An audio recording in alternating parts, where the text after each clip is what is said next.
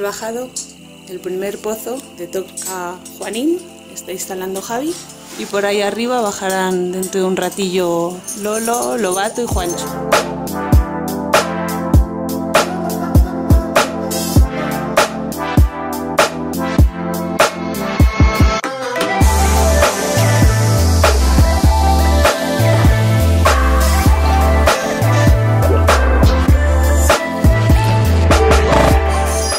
Está Lolo reinstalando un pequeño roce que había.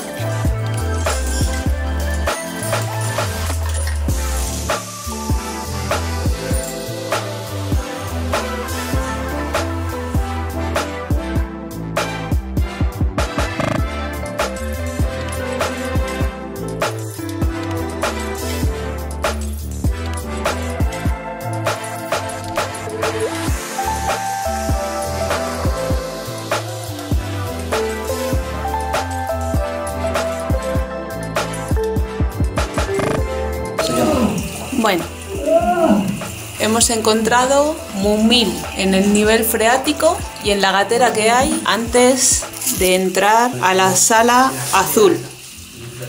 Por ahí se han perdido el resto y le toca ahora a Lobato. Pues esta es la sala azul de Torca Juanín. ¿Por qué es la sala azul? Bueno, porque se ve más o menos azul, pero es que hay de repente súper azul. Es muy bonita, muy original y bastante complicado de llegar por las gateras. Hemos entrado por aquí, hemos bajado todos estos pozos, pozo de 11 metros, pozo de 15 metros, pozo de 23 metros, todos estos pasos estrechos hasta que hemos llegado a 160 metros de profundidad y ya hemos empezado a caminar por la corriente del río. Otro pozo de 14 metros hasta que al final hemos llegado por un paso muy estrecho hasta, aquí, hasta la sala azul.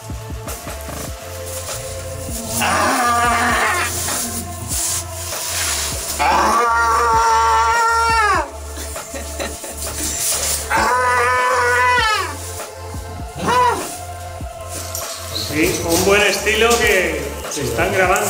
Esto, esto va ahí a la nube. juego de caballo, coño.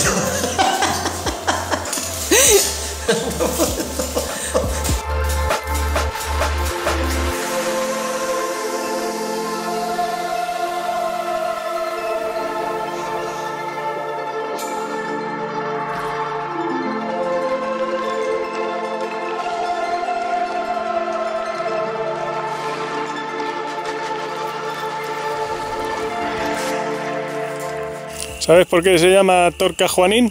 Porque se cayó un pobre hombre aquí, o el que la exploró por primera vez. Mira para qué sirve el estrobe de la luz. No, es una historia más interesante. Resulta que esto es zona de maquis. Entonces, un guardajurado en los años. Bueno, no sé en qué año fue. Resulta que delató a un grupo de maquis y llegó Juanín, se lo trajo aquí, le pegó un tiro en la nuca y lo tiró para el hoyo. Luego a Juanín lo pilló la Guardia Civil y le dio matarile. Y también lo tiro para otro río. Y bueno, esto ha sido Torca Juanín.